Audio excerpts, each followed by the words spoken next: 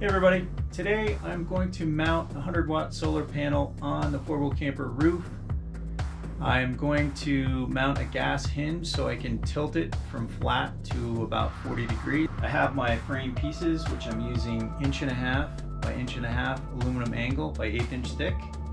I've already mounted one up on the roof and it's working out great so I'll walk you through this process as I go with the second panel. Uh, here we go, should be fun.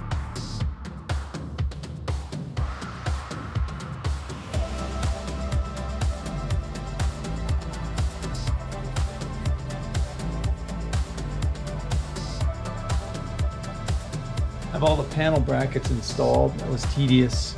Last time I just used sheet metal screws, but it wasn't the optimum application. I mean, it worked good, but the hinge has a lot of torque on it. So I just elected to uh, bolt these nice and tight so there won't be any issues in the future.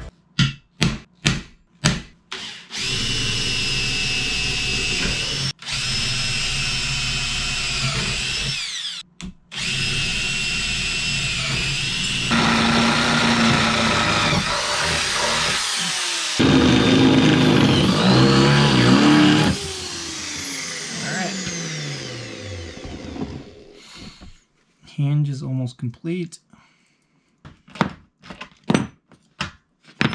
Okay, we should have, ooh, what's going on here? Oh, oh yeah, I forgot. I gotta cut the, uh, cut the ends off.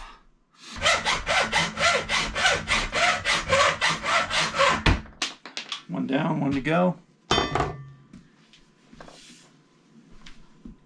That's it can rotate without digging into the roof or the floor right here. We're getting closer. Got the hinge points installed.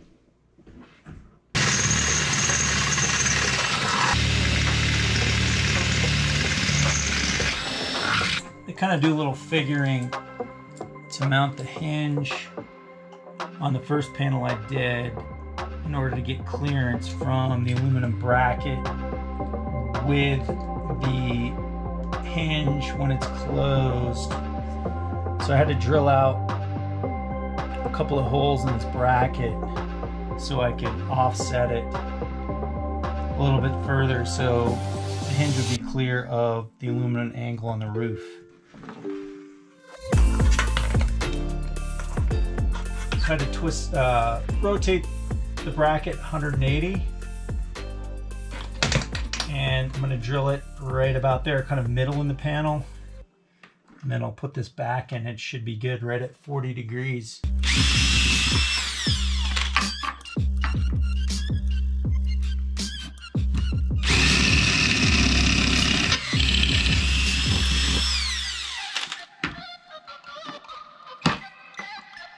Voila.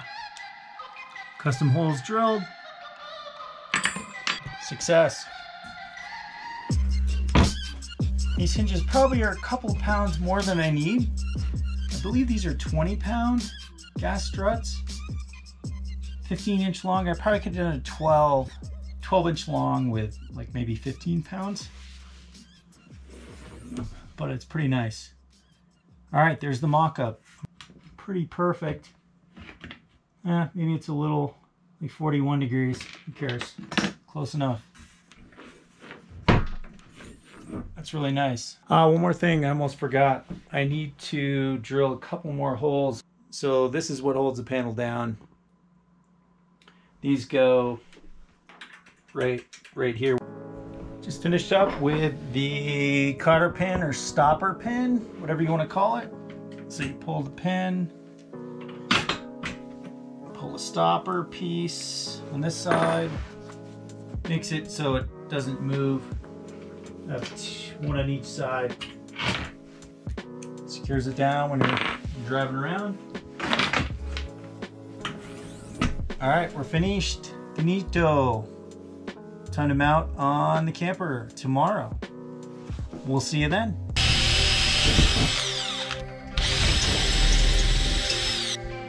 Now we're gonna put spacers in. I have quarter inch rubber gasket spacers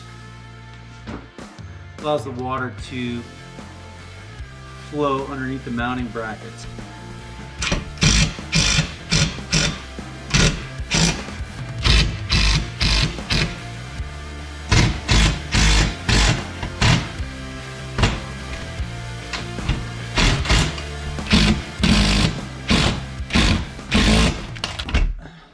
Bomber.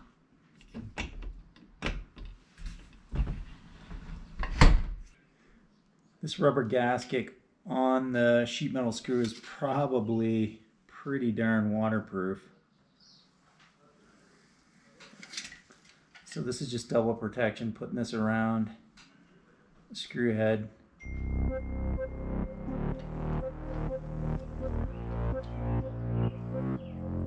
It's a real pain getting the sealant around the the rubber spacer, because I only have a quarter inch to work with.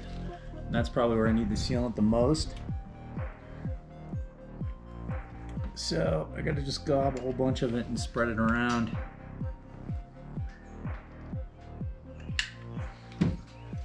Just have these little matchsticks to help get the sealant around the spacer. Got the panels mounted, just doing the finishing touches, securing down the wires.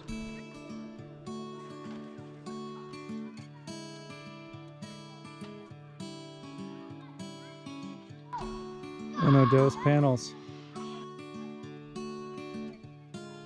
Just got to trim the tabs off the zip ties and we're all set securing the wire down.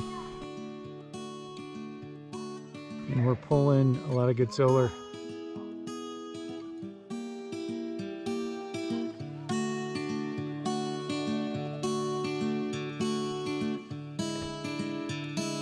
Let me know if you have any questions. Take it easy out there. This is Kevin from Big Mountains and Backwoods. See you next time.